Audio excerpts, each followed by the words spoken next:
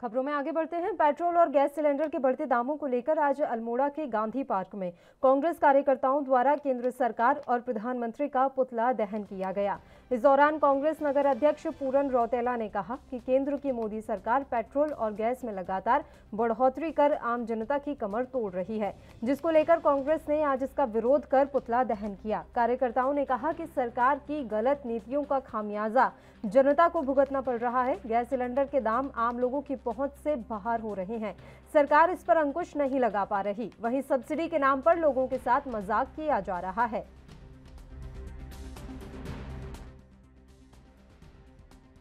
लगातार जो खाद्य तेलों के मूल्य बढ़ाए जा रहे हैं और गैस 970 कर दी गई है। पेट्रोल, डीजल के रेट बढ़ाए गए हैं। उसको लेकर के केंद्र सरकार का यहाँ चौखान बाटा में हम सारे कांग्रेस जनों से एकजुट